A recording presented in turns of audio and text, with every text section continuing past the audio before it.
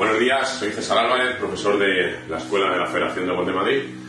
Y bueno, aquí sigo contándoos algunas cosillas para que durante nuestra cuarentena necesaria y tan importante podamos seguir aclarando conceptos. Hemos hablado de, de la línea, de por qué la bola de gol sale por un sitio o por otro, de por qué se producen esos efectos en el aire.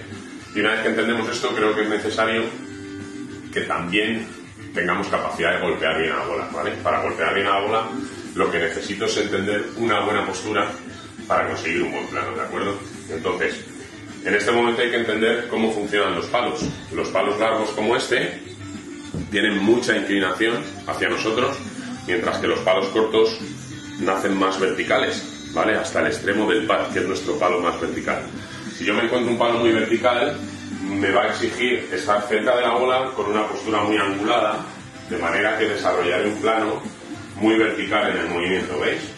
A medida que este ángulo se va tumbando hacia el interior, lo que ocurre es que nuestra postura se va incorporando y nos obliga a ir separándonos de la bola de manera que el plano va bajando.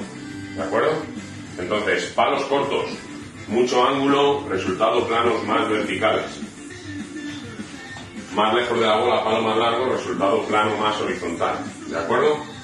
Esa es la clave para tener un buen contacto con la bola. Por supuesto, los ángulos que se me generan en la posición inicial no puedo perderlos al subir.